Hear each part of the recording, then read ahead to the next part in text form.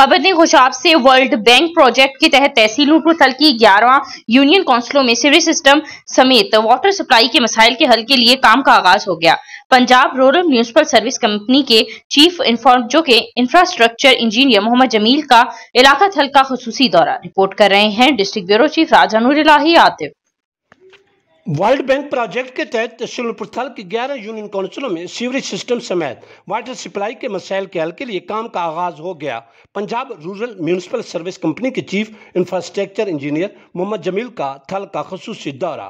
Engineer Mohammad Jameel ने consultant team tehsil manager Noorpur Thal, Shahid Aslam deputy manager शैब Tariq C officer Malik Abdul वैद सग्गू और assistant manager P R M PRMS local government and city department Tanveer Hussain camera, तैतरी आदि circle नमक सग्गू, कातीमार, मेकिन, निवाई चकूक, उनचास, तिरपन बावन, इक्यावन डी बी और उनतीस एम बी सत्रह एम बी समेत दीगर मवाजियात का खसूसी दौरा किया। दौरा रंगपुर बघूर के मौके पर नंबरदार मलिक साजिद अब्बास बघूर ने टीम को सीवरेज सिस्टम, वाटर सप्लाई और सफ़ाई सुथराई के वाले से शहर का विज़िट करवाया। इस मौके पर चीफ इंजीनियर ने टीम को ज़रूरी हिदायत भी जारी की।